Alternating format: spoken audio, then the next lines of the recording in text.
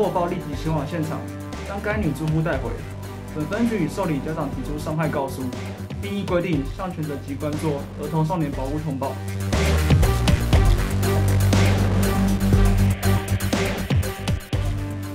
掌握全球情势，国际新闻全新选择 YT 频道 TVBS 国际 Plus 扩大视野，欢迎订阅并开启小铃铛。